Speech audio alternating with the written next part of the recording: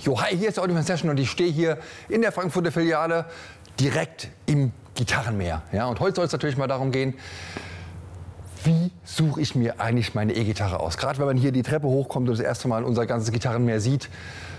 Boah, ich wüsste nicht, wie ich mir eine Gitarre aussuche, außer es gibt vielleicht ein paar Tipps. Das heißt heute unser Video E-Gitarre, aber welche? Und dafür habe ich mir erstmal fünf Vertreter ausgesucht. Zwei davon halte ich schon mal aus der Ferne nach oben. Jetzt live im Video.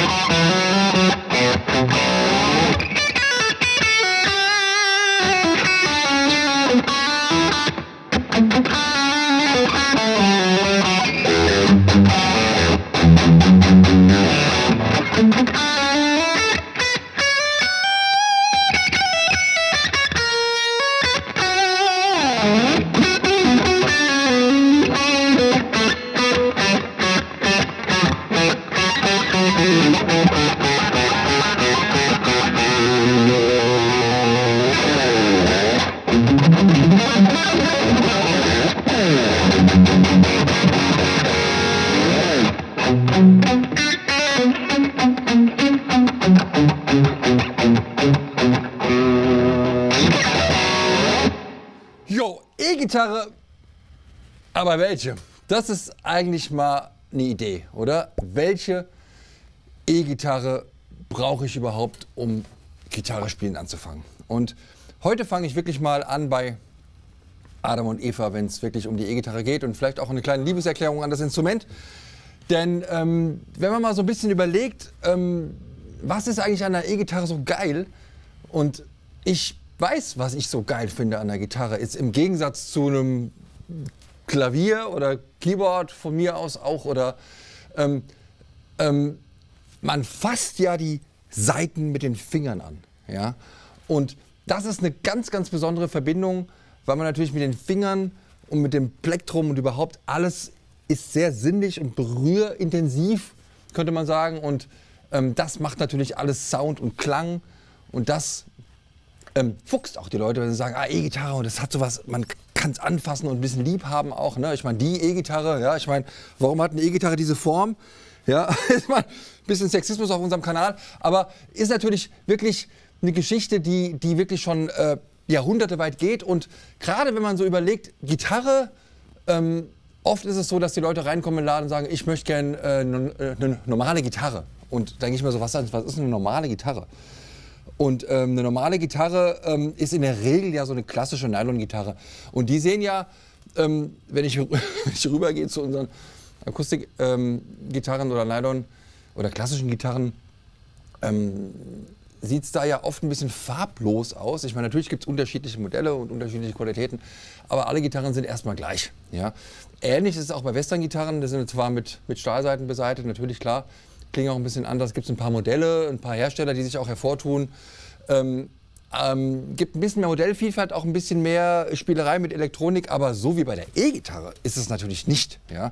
Und gerade wenn ähm, ich jetzt am Telefon auch mal eine Beratung mache oder Leute anrufen und sagen, ah, ich will E-Gitarre spielen und sowas, dann ist natürlich für mich als äh, derjenige, der das Ganze so ein bisschen steuert dann oder steuern soll, ne? die Leute wollen ja auch die Beratung haben, sollen komm, sag mir mal, was los ist, Olli, ähm, gar nicht so ganz einfach, wenn ich gar nichts über den Kunden weiß. Ne? Oder wenn, wenn man so ein bisschen im Trüben stochert und ähm, dann gibt es so ein paar Punkte, die ich so ein bisschen durchgehe und ähm, das macht es natürlich auch sehr, sehr interessant, für euch jetzt in unserer Videoreihe Ollis Starthilfe, dass man mal so ein bisschen wirklich ganz, ganz unten anfängt. Ja, ganz, ganz unten.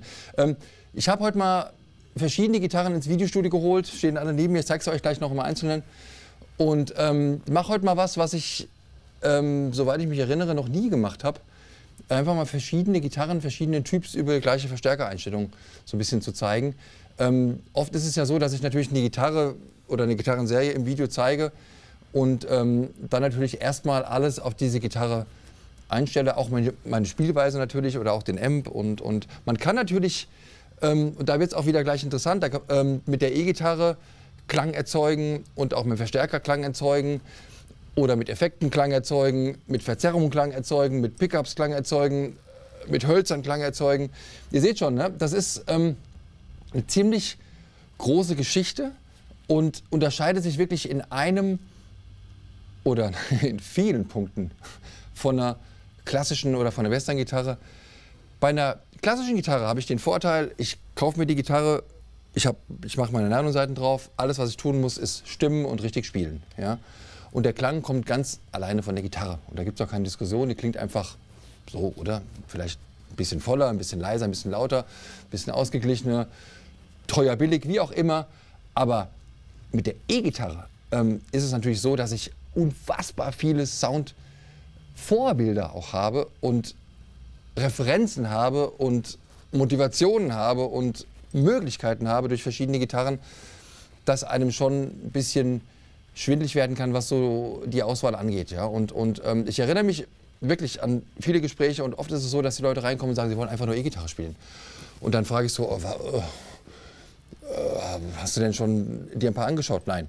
Ist so, okay. Äh, was hörst du denn für Musik? Ja, Radio. Äh, äh, Gibt es irgendwelche Bands? Nö. Oder gibt es irgendwelche Gitarristen? Nö. Ja, weiß nicht. Und dann muss man so ein bisschen bohren und schauen und so weiter. Und ihr seht schon, worauf ich anspiele. Es geht immer so um Referenzen, ja, es geht um, um Bands, um Style auch, ja. Also ich spreche oft vom, vom, vom, vom ähm, Metal-Schlumpf mit schwarzen Fingernägeln, der zu uns reinkommt mit seinen Eltern samstags ne, und, und sich seine erste Les Paul holt und so weiter. Und, und, das. und ihr seht schon, dann geht es ganz klar auch, ähm, dass die Jungs und Mädels ähm, stramm stehen und sagen, ich, ich, will Les Paul oder ich will eine Stadt oder ich will. Ne? Und natürlich ähm, gibt es nicht nur Les Pauls und Stratz, ja, aber ich ordne das Ganze natürlich gerne auch historisch. Ja? Das heißt, es geht ja darum, dass man ähm, so ein bisschen schaut, wo kommt eigentlich alles her. Und man kann schon durch ähm, die Historie und die Herleitung der verschiedenen Modelle auch viel lernen. Vor allen Dingen, was sind denn die Dinge, die bei einer E-Gitarre wirklich allgemeingültig sind? Ja, es gibt natürlich viele Unterschiede, aber es gibt auch so ein paar Gemeinsamkeiten. Ja? Und ähm, alle oder alle E-Gitarren, bis auf wenige Ausnahmen. Ich meine, wenn es Ausnahmen gibt, gibt es auch ähm, ähm, ähm, äh, Regel, Regeln oder Regel, Regelmäßigkeiten. Und äh, die Regelmäßigkeiten bei E-Gitarren sind natürlich erstmal so, es gibt äh, sechs Seiten auf einer Gitarre, das ist klar. Es gibt ähm, ein Griffbrett mit Bünden ähm, in einer unterschiedlichen Anzahl. Die hat jetzt 24 Bünde. Äh, eine Strat hat gerne mal 21 Bünde. Äh, eine Les Paul ähm, hat gerne mal 22 Bünde. Ja?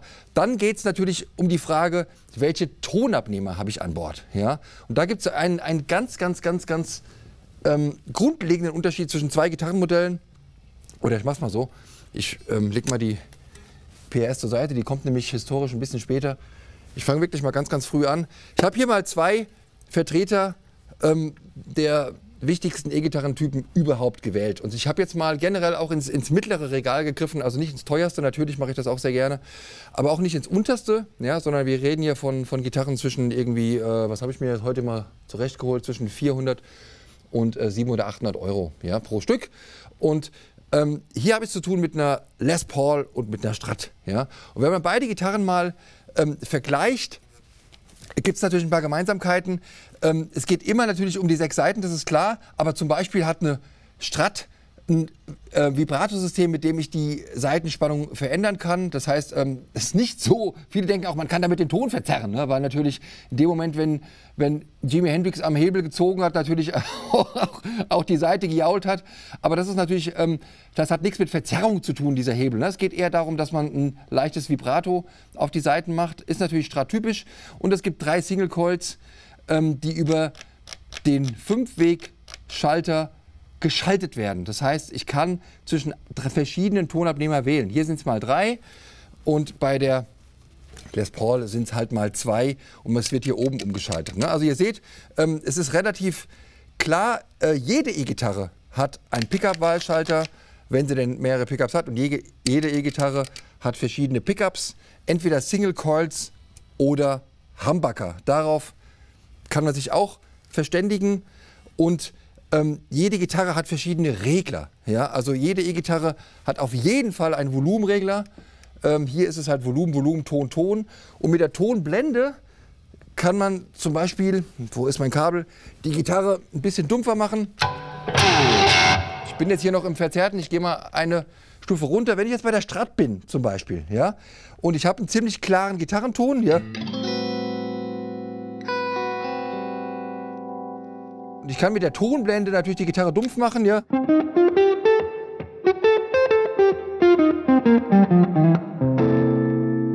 Ja, und ihr seht schon, sobald ich ähm, die Gitarre dumpf stelle oder den Verstärker dumpf stelle, ändert sich auch mein Spielstil. Ja? Und deswegen ist es natürlich so wichtig, dass man sich beim Gitarren aussuchen ein bisschen an dem, oder nee, nicht ein bisschen, grundlegend daran orientiert, was will ich denn spielen? Ja? Denn wenn ich jetzt beispielsweise mal ähm, Metal-Axt nehme mit zwei Humbuckern und einem Floyd Rose-System. Dazu sage ich gleich noch mehr. Und gehe auf meinen auf mein, auf mein äh, super High-Gain-Kanal.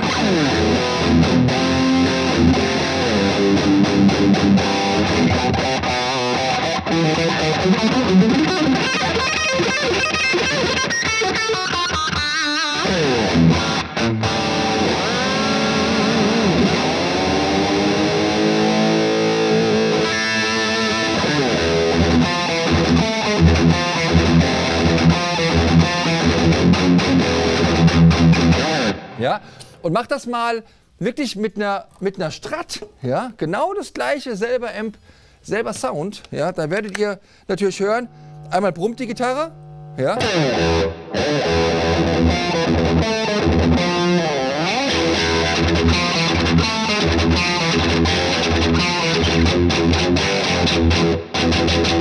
Ja? Die Gitarre brummt natürlich erstmal und hat natürlich nicht den Druck oder die, diese Breitbandigkeit von Humbuckern. Ja? Und dieses Beispiel zeigt euch natürlich auch schon, dass es ganz, ganz wichtig ist, dass man sich die Gitarre gut aussucht. Ne? Also will ich jetzt eher diese Metal-Schiene bedienen oder Rock-Schiene bedienen, dann kann ich ruhig dort gucken, wo meine Vorbilder auch Gitarre spielen. Ne? Also gerade ähm, eine Strat, und dazu zählt jetzt mal diese, dieses Fender-Beispiel oder auch eine Telecaster oder alles, was von Fender kommt oder auch von anderen Herstellern kommt, was mit Single Coils ausgestattet ist, hat folgenden Vorteil. Es klingt einfach clean, Mörderklasse, ja?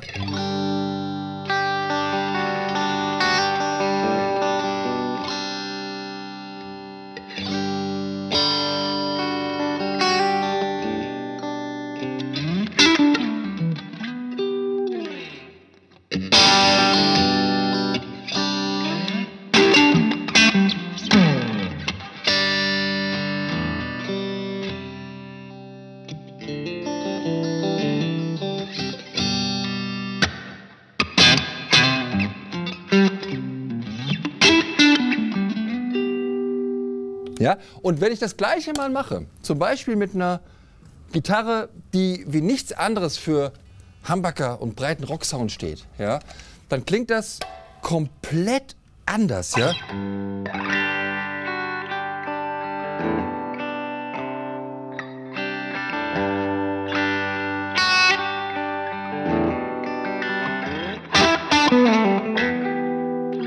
Ja, und ihr merkt schon, das passt nicht mehr so gut in mein Spielbeispiel. Ne? Aber wenn ich jetzt sage, komm, ähm, geh mal auf Classic Rock Sachen, ja, alles was man so von ACDC kennt, ja, gehe ich einfach mal, ähm, ich, kann sogar den Kanal so lassen und kann einfach meine Spielweise ändern, ja.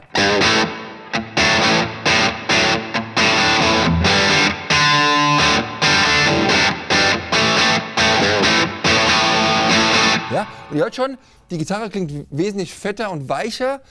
Das hat zu tun mit der Elektronik und auch mit der Holzwahl oder Holzauswahl, ähm, mit dem ganzen Gitarrenaufbau. Denn es gibt einen wirklich großen Unterschied.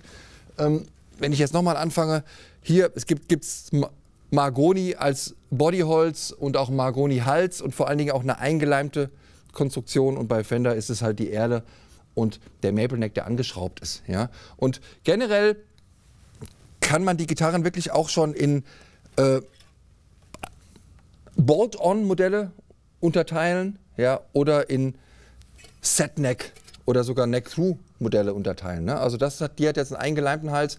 Man sagt, und das ist auch nicht ganz falsch, dass Gitarren mit einem eingeleimten Hals ähm, ein besseres Sustain haben. Und man sagt, dass Gitarren mit einem angeschraubten Hals ein besseres Attack haben. Ja? Und das, was es jetzt halt vielleicht auch ein bisschen schwieriger macht, ist, es gibt natürlich alle möglichen Zwischenkombinationen. Ja? Es gibt zum Beispiel, ähm, wenn ich mal mir so einen Hybriden anschaue, was wir auch wirklich sehr, sehr gern verkaufen als, als Anfänger, Idee, sage ich mal, zum Beispiel eine Ibanez. Ja? Hier eine RGA, ähm, die mit Hamburgern kommt, also das, was ihr jetzt gerade gehört habt im Classic Rock Bereich. Ja, ich mache gerade noch mal das Riff von eben klar.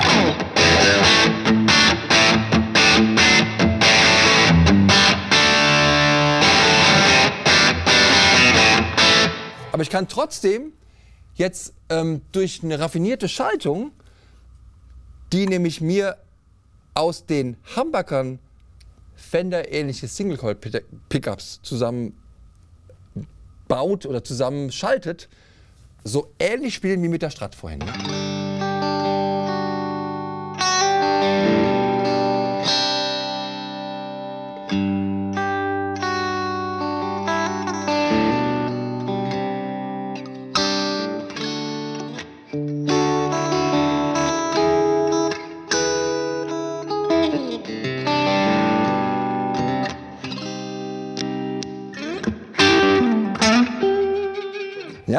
Das macht's ziemlich geil, wenn ich dann so eine, so, eine, so eine flexible Gitarre habe, die irgendwie beides bedient. Ja?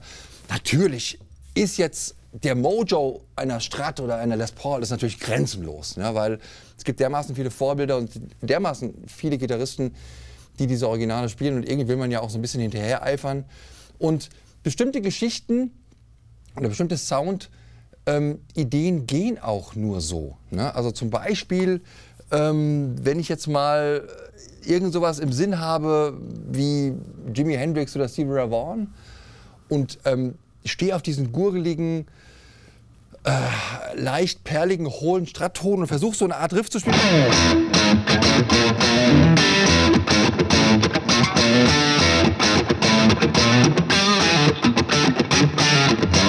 Ja, dann komme ich mit einer, mit einer moderneren Gitarre natürlich ein bisschen in die Richtung, aber sobald ich einfach jetzt mal den Amp so eingestellt lasse und ich gehe auf die Strat.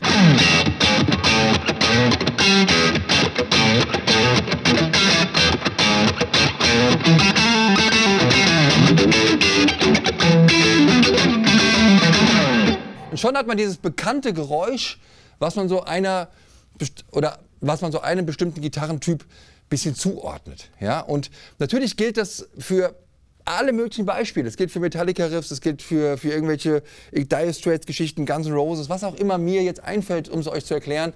Aber das ist, wenn ich jetzt wieder einfach auf meinen clean Sound gehe und schon bin ich bei.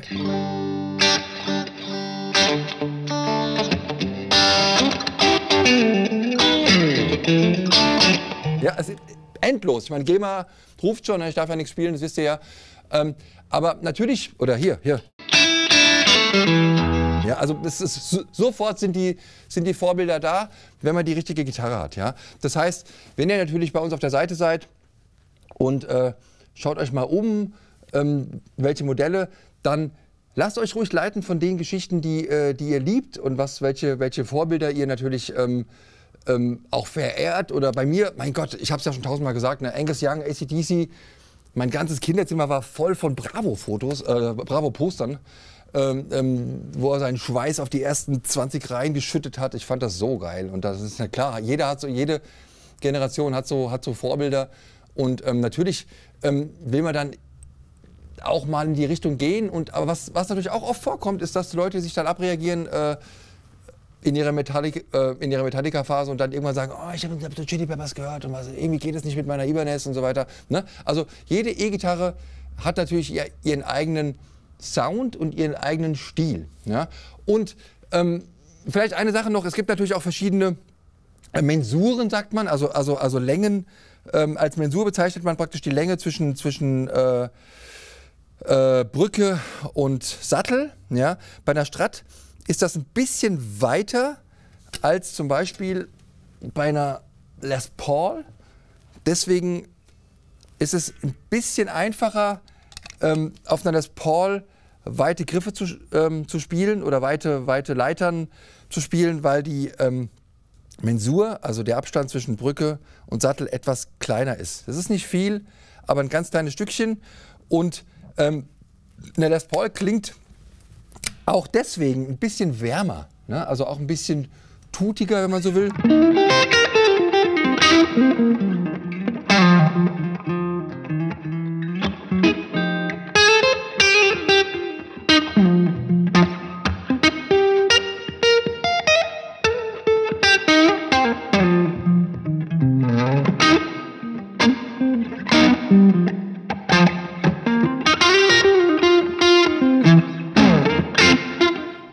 Sofort bin ich in diesem Blues, BB King, was weiß ich. Aber man merkt schon, man spielt anders, wenn man, wenn man eine bestimmte Gitarre hat. Ja?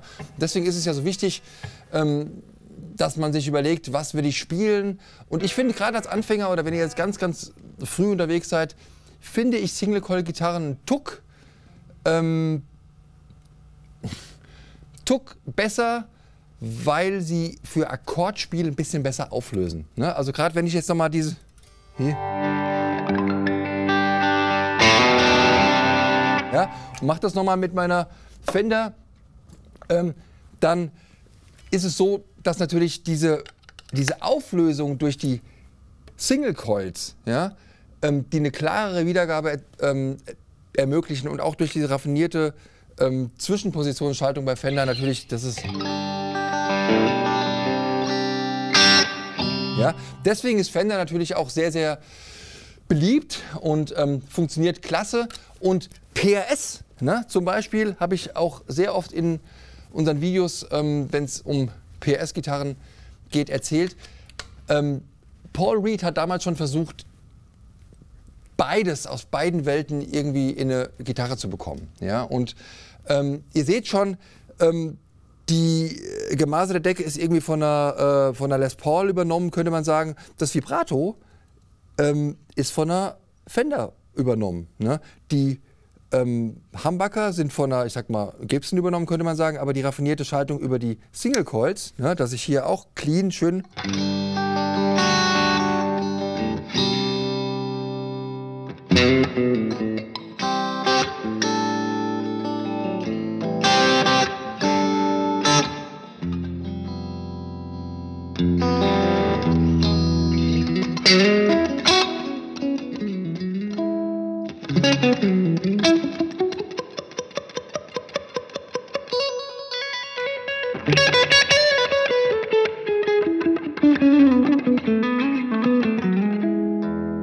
Und jetzt, jetzt, so die Findigen unter euch haben schon gemerkt, ich habe wieder umgeschaltet. Ne? Also es gibt wirklich einen Punkt oder es gibt natürlich einen Bereich, wo jede E-Gitarre natürlich ihre, ihre Features hat und wo man auch versuchen kann, das Ganze anzuwärmen oder auch ähm, glasiger zu machen. Und das ist natürlich der Teil, der von der Gitarre kommt. Ja?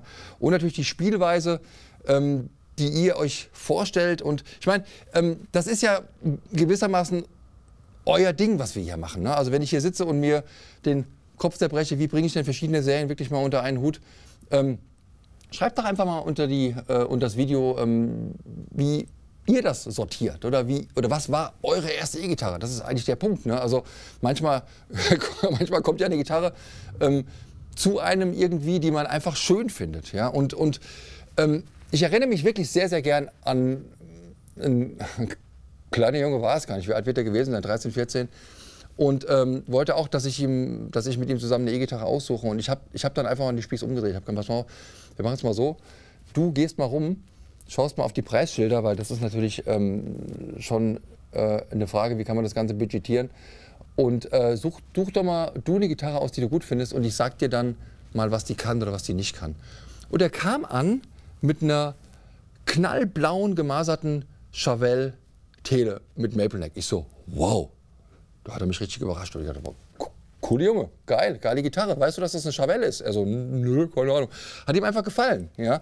Und das ist natürlich ein Punkt, ähm, der bei E-Gitarren ganz, ganz, ganz, ganz entscheidend ist. Die Optik und der Style. Ja? Ich meine, natürlich ähm, haben wir früher die Scheiben geleckt, wenn, wenn da eine Les Paul Custom irgendwo in dem Gitarrenladen hängt. Eine schwarze Les Paul Custom mit goldener Hardware. Ne? Oder es gibt so, so ähm, wichtige Klassiker, die wirklich über die Jahrzehnte immer noch ähm, erregen. Ja? Und, und ähm, natürlich will man sich dann auch einen Traum erfüllen oder ey, ich kaufe mir jetzt mal eine Strat oder ich kaufe mir jetzt mal ähm, eine Metal-Axt. Ne? Sind wir nochmal bei der, bei der Jackson, ähm, die natürlich Stylo, also ich meine, das hat nichts zu tun mit, mit also vom allein schon, ne? das eine ist sehr, sehr konservativ ne? und sehr klassisch und das ist halt Rock'n'Roll. Ja, so, so soll es sein und das soll natürlich auch polarisieren. Ich meine, schaut euch mal Steel Panther an. Ja, so eine geile Band, so ein geiler Gitarrist und er würde genau so eine Gitarre zocken. Ja, ich meine, es gibt natürlich verschiedene Marken. Das ist jetzt Jackson, ähm, es gibt noch Chevelle, es gibt ESP, es gibt Kramer. Ähm, alles natürlich Marken, die dann in eine bestimmte Richtung gehen und ähm, vor allen Dingen eine Sache oft auch haben, das ist ein Floyd-Rose-System. Ja? Das heißt, ihr könnt eine Sache beim Floyd Rose wirklich super gut machen.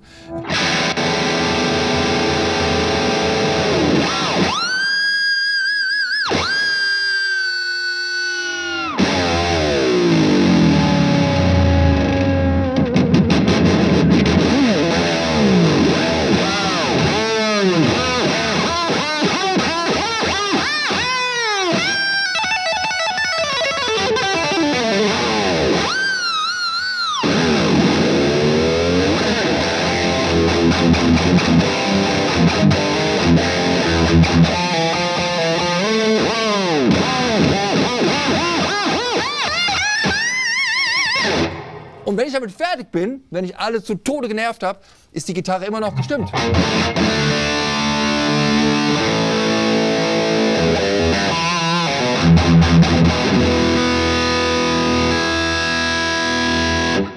Das ist natürlich klasse, ja? weil natürlich beim Floyd Rose System die Seiten abgeschlossen werden. Das heißt, die Seite kann überhaupt nirgendwo hin. Ja? Das heißt, ich habe es hier zu tun mit einem Double-Locking-Tremolo, könnte man sagen. Die Mechaniken sind hier oben natürlich klar und die Gitarre ist einfach zu. Und ah, natürlich ist es so, dass man sich überlegen muss, will ich ein Vibrato oder nicht. Ne? Denn das ist die nächste Kategorie, um die es bei der E-Gitarren-Sortierung gehen muss. Will ich eine Gitarre mit Vibrato oder nicht? Ja? Denn ähm, die PRS zum Beispiel hat natürlich ein Vibrato, ganz klar. Kein Vibrator, ein Vibrato. Und ähm, lässt sich natürlich dann auch im Stile eines Vibratos spielen. Wenn ich das nicht habe, ja, habe ich eine sogenannte Fixed Bridge. Da haben wir es hier, natürlich bei der ähm, Ibanez damit zu tun. Ihr seht auch, die Seiten werden einfach durch den Body gezogen.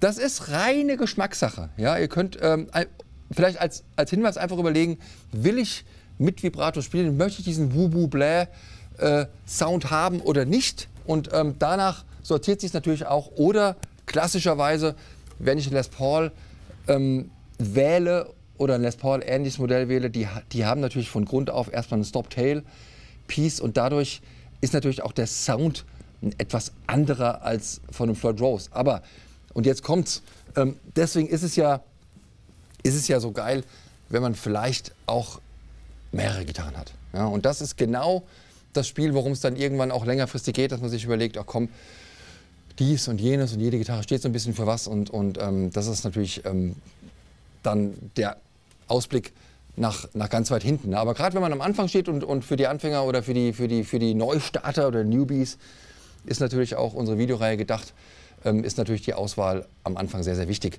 Ähm, ich habe ja schon gesagt, Audi Starthilfe ist eine Videoreihe, die wir für euch machen und natürlich könnt ihr ähm, auch über unsere Session-App, wo habe ich es denn? Äh, Session-App, da ist es schon, Genau, und da haben wir natürlich alles schon ähm, für euch vorsortiert, Gitarrenbässe und vor allen Dingen auch Ratgeber. Ja? Das heißt, in dem Moment seht ihr, ah, da geht es um Gitarren zu den Ratgebern, der Markus hier zu sehen oder Ich auch ab und zu mal geht es um Effekte, Ollis Starthilfe, Effektpedale, aber wie viele?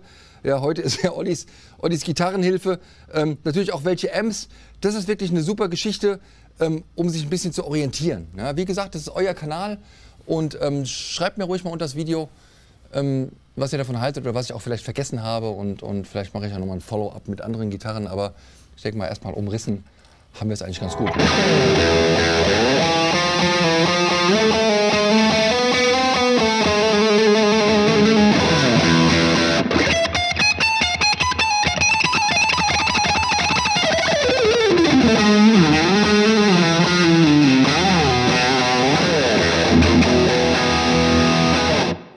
Wir schon wieder fast am Ende. Ich habe euch heute fünf verschiedene Vertreter von E-Gitarren gezeigt, wenn es darum geht, E-Gitarre, aber welche. Es geht natürlich bei Ollis Starthilfe immer darum, dass ihr euch gut beraten fühlt. Das heißt, schreibt unter die Kommentare, schaut bei Facebook, schaut bei Instagram, wir sind für euch da. Mit Spaß macht das. Tschüss.